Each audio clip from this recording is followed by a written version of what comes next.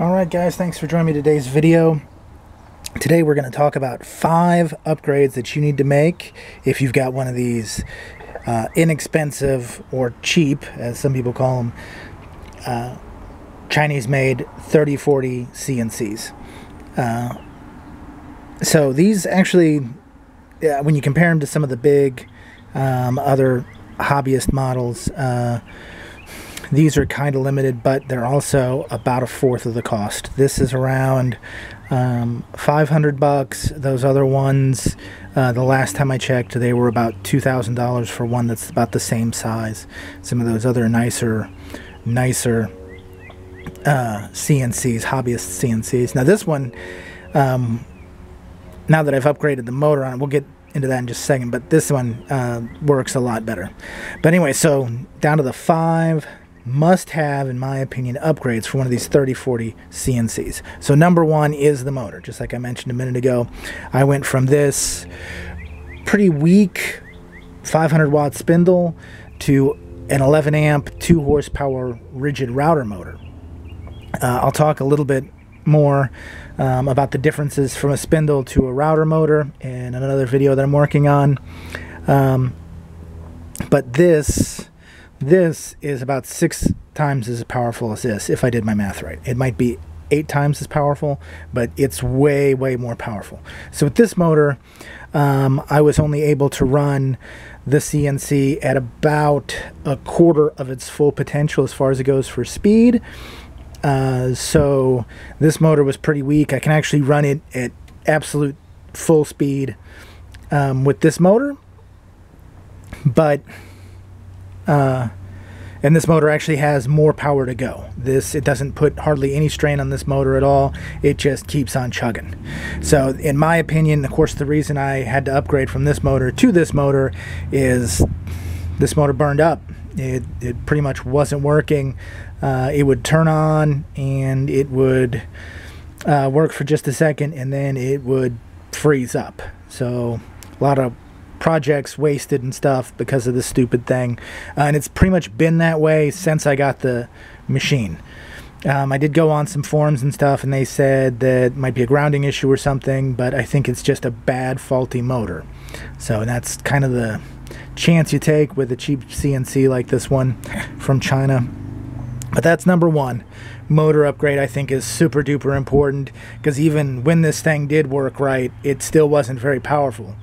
You know, uh, this motor um, to route out uh, some of the more complex things that I do. Uh, this one takes around 15 minutes, and this was taking an hour and five minutes for those same projects. So this is much, much faster. Uh, number two is going to be clamps. As you can see here, this is the cheap clamp that the machine comes with. Let me zoom in.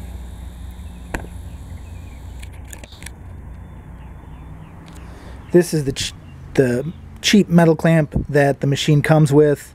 These are a pretty bad idea. If this blade comes into contact with this clamp, this blade is toast.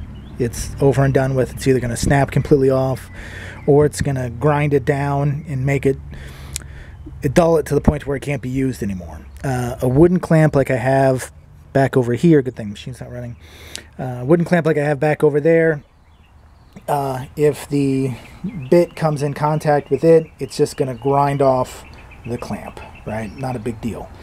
Um, if you've got it clamped down right, you've got the board clamped down right, uh, with multiple clamps and clamped down with enough pressure and there's enough surface contact, it won't matter if it hits that wood a little bit and takes off a little bit of it, no big deal. And plus you can just make a new wooden clamp, right? That's what the CNC is for.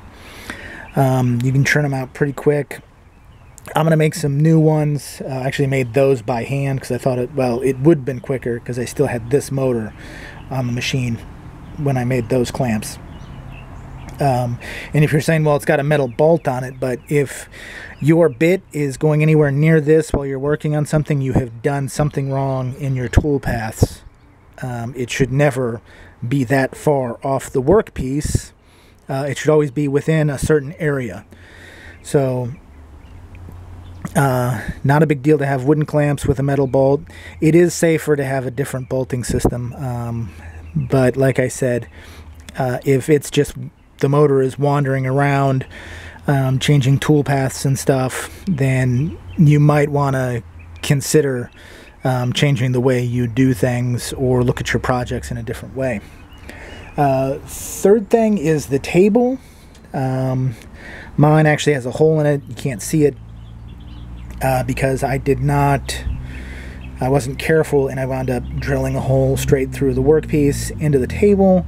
So you want to upgrade at least to a spoil board. I'm upgrading to a whole new table. This thing's out of there. Uh, that's one of the upgrades I'm going to be making here pretty soon. Uh, I'm also going to take you down this whole upgrade path.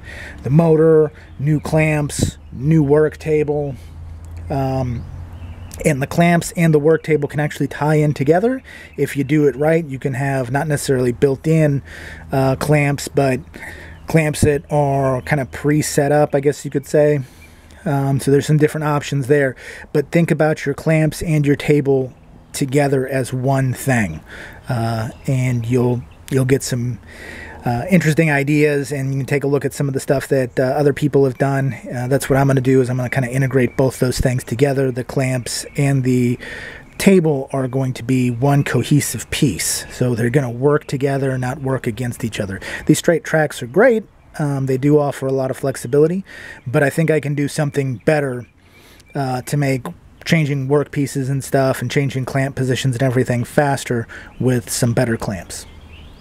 All right, so uh, on to number four, which is dust collection. You can't see the dust that's all around the table and stuff, um, but this thing doesn't get a whole lot of dust on the, the work table itself. This motor blows it all over the place.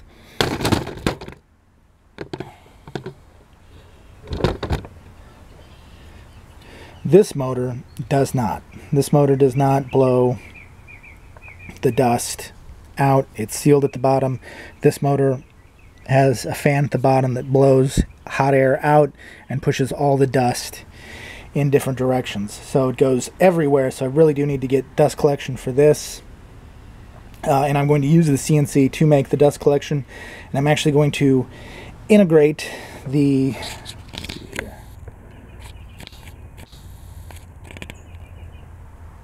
There you can see some of the dust. I'm actually going to integrate the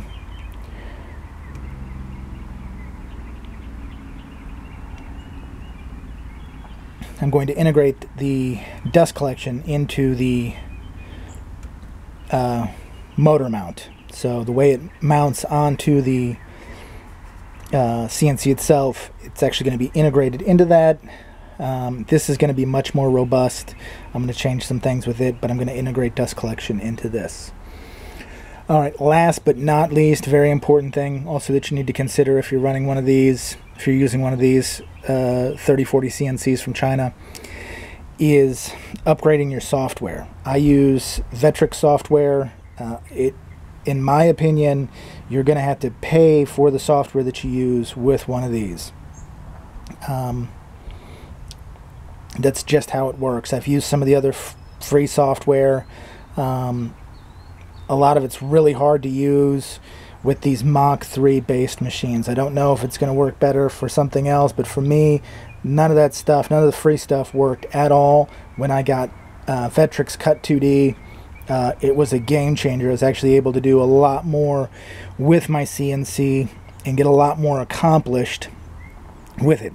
So those are the five, in my opinion, must-have upgrades for a 3040 China CNC or similar. Um, even the next size up uh, could probably benefit from a bigger motor, better table, better clamps, dust collection, uh, and better software. Uh, any CNC is going to better uh, cheap CNC anyways because the more you pay for a CNC, the better ones they're going to have all that integrated into it, and it's just going to work. A lot of the more expensive CNCs, um, they don't come with a bigger router motor. Uh, you have to purchase it separately, but they're designed for use with a larger motor like this. Um, so, five must-haves, in my opinion, a new motor, clamps, and table. Dust collection is something that's very crucial. Like I said, dust goes everywhere. You might want to consider getting better software for using your CNC. All right, thanks for checking out this video. We'll see you next time.